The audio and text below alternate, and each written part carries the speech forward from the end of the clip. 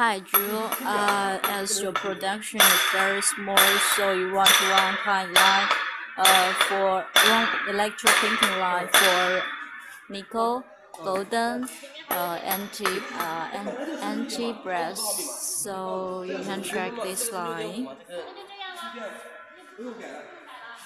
Uh, this is a small type. Uh, electroplating machine for one another customer we have. So it is uh, in the process now.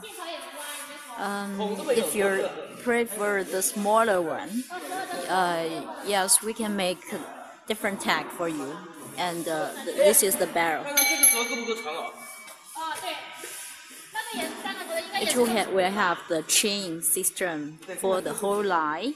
And uh, you know for everything it will have one uh, maybe uh, it will have one this reducer motor.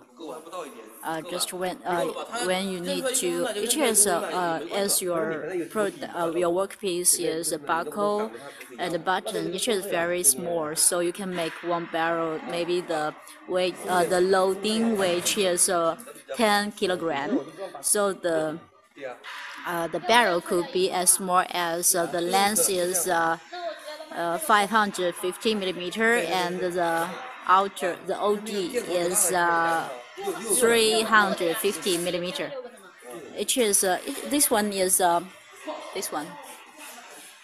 This one is uh, 1,200 millimeter.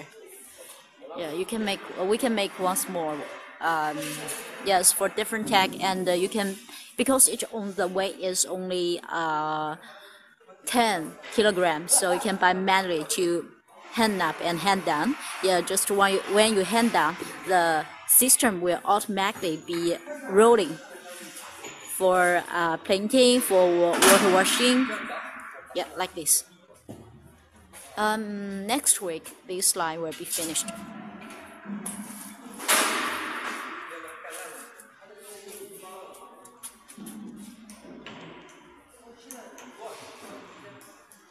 Ah, this one is uh, one more big line.